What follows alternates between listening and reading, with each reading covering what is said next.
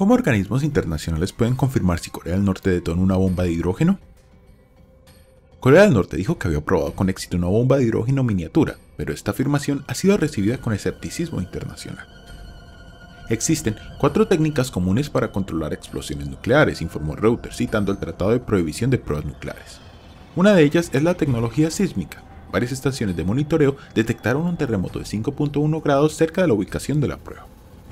Otras técnicas incluyen vigilancia hidroacústica, que investiga las explosiones submarinas, y el monitoreo de infrasonidos, que miden explosiones nucleares atmosféricas. Una técnica de verificación clave es la vigilancia de radionuclidos, que determina qué partículas y gases permanecen en la atmósfera.